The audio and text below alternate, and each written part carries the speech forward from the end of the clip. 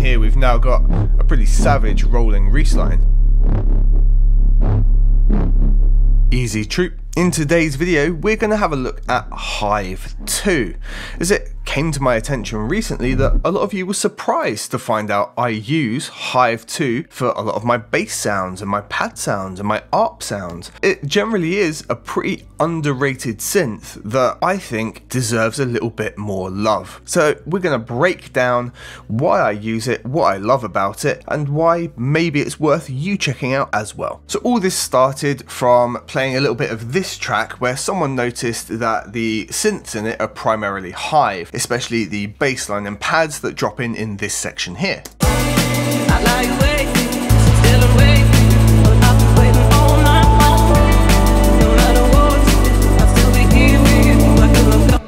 Video is sponsored by DistroKid. They let me get my music out to all of the major distributors and they do that at a price an independent artist can easily afford. If you're ready to get your music or beats out there and want to release an unlimited amount of music each year, check the link in the description below for a discount off of your first year of unlimited distribution with DistroKid. That is primarily the case. It's even still labeled here as initialize. There's the most simple wobbly Reese in this case. And I like to make a lot of my sounds using Hive 2 for a very simple reason. As complex as it looks, it's actually a really easy, quick, simple synth to navigate that allows you to do, well, incredibly complex things, much more so than the likes of Serum. Serum has the ability to dive into and dial in very quickly because of the simplicity. Hive 2 looks a lot more complex, but once you learn to navigate it, you can do a lot of those things and take them a little bit further further as well. Let's break down the GUI and I'll reset this patch here and we'll look to maybe build a little something as we go along. So to reset Hive, I can go up here where it says it is registered and in my case scroll all the way to the bottom go and that will just give us a bass saw wave. Across the top here, we've got our classic global controls, our preset hunting, undo, you know, the overall output, transpose it up or down, voice amount, legato, pretty standard. Here, where we've got OS1 and Sub1 is just mirrored on the other side. And then below is filter 1 and filter 2. And that's the way that we organize a sound in Hive, using those filters. So OS1, for example, is switched on here in filter 1, but not switched on here in filter 2. So OS1 goes into filter 1 and comes out. If we want to hear oscillator 2, we can also send that to filter 1.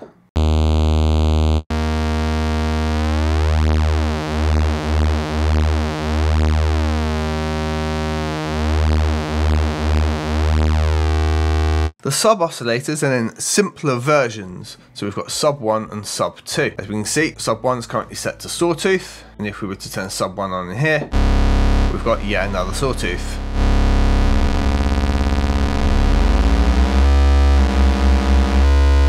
Whereas sub 2 is set to pulse, and now everything is going through filter 1.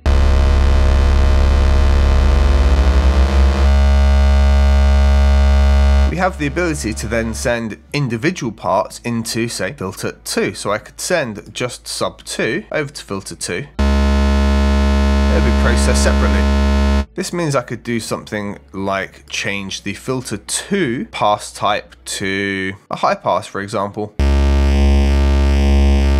In terms of what you can do with each oscillator, well, we've got all the standards in here, sine, triangle, etc., that you'd find in a classic subtractive, as well as pink noise. But then just here it says wavetable. And when we select wavetable, you can see here in the hive, the hexagon here in the middle, that wavetable 1 is now active. And if we click on wavetable, well, here we have opened up a whole new can. For you see, we have a huge variety of wavetables. And these are absolutely enormous. However, it doesn't even stop there. You can, in fact, add our own wavetables in here as well, making completely custom ones. If I was to click here and go show in Finder, it will show us the folder where we've then got our wavetables. Let's go new folder and we'll call this custom and I've got a couple of audio files on the desktop and we'll use those as examples for our custom wavetables. Bring those in like that and we can close this away. Now when we refresh the wavetable list, we have our custom and there are my wavetables, which were just sounds that I had preloaded. Let's take the like a full Reese and we can now use that as a wavetable.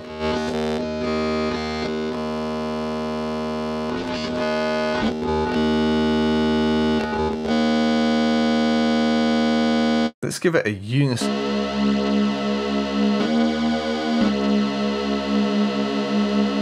With a bit of detune. Maybe a unison of seven.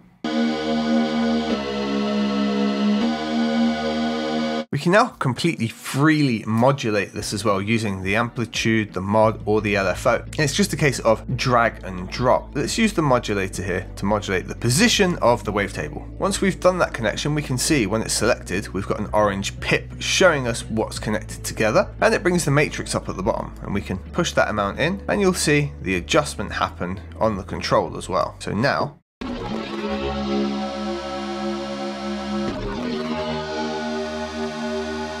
So let's make it so we've got a slow attack. And bring that amount down.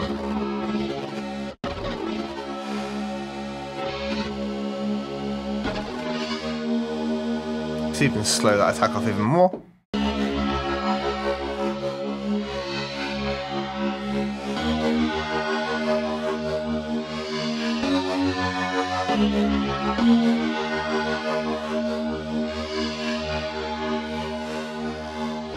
Can change it so it...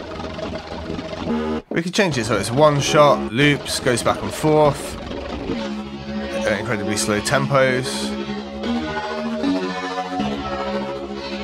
Or just have it off so we've got very individualized manual control.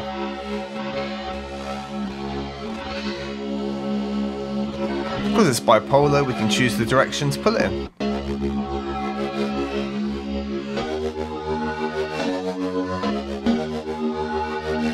Even though we've just set that up though, we can just freely bounce through to other sounds.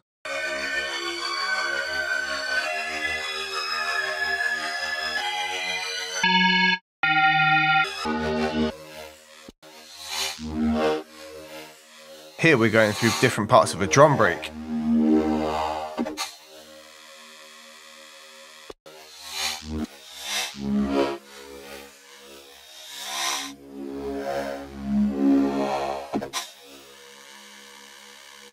Can change the crossfade type as well. Let's go to something like zero phase between the different slices.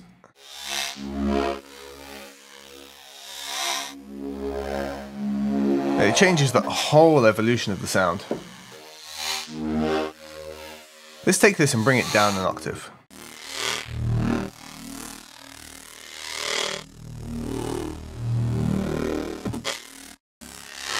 So we're definitely in some sound design territory right now.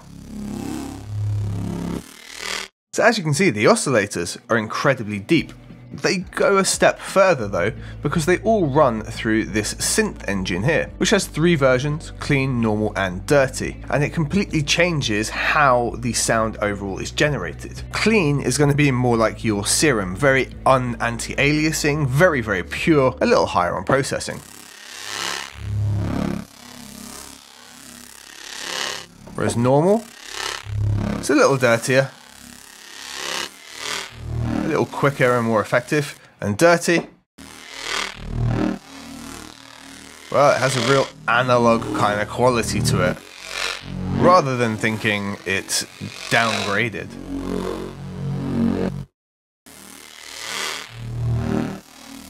I hope the differences there translate. For this, I kind of like dirty.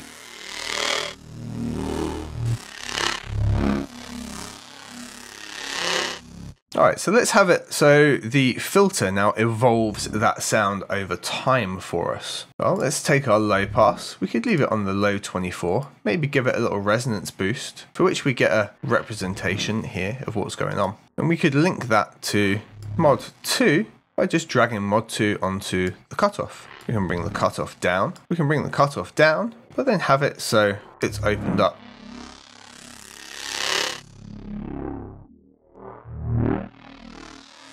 Perhaps we always want there to be an underlying subsonic sound to this. So we could take sub 1, we could switch it over to sine, and we could send that to filter 2.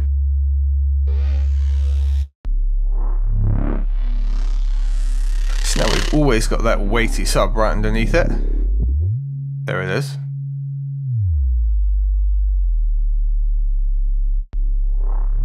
With our evolving sound right on top of it.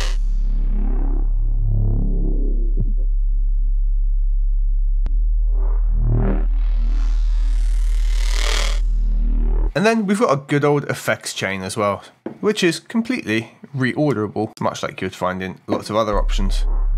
That means we can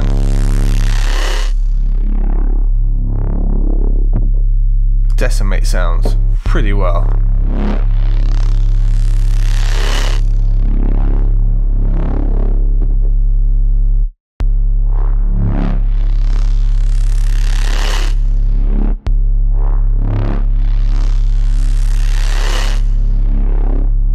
Go back to wavetable 1 uh, and maybe we can move the speed of this up a little bit by adjusting mod 1.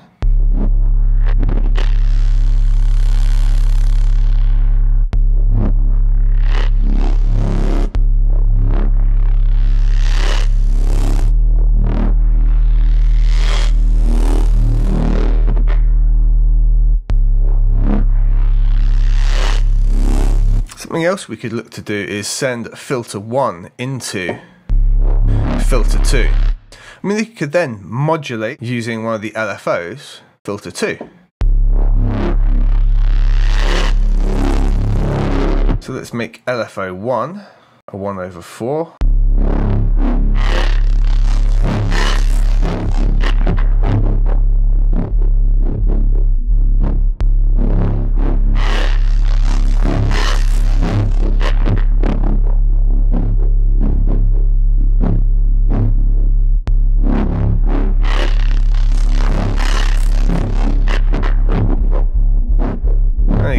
Can have it perform however you want.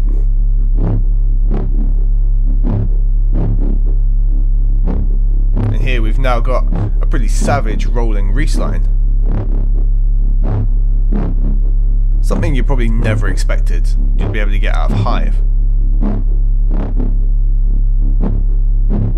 But that guys is why I'm using Hive 2 so much and that's basically the process that I would go through to build and create my own kind of sound and sound design, often bounce it out to audio and then chop those bits up as well, as you'll find in tracks like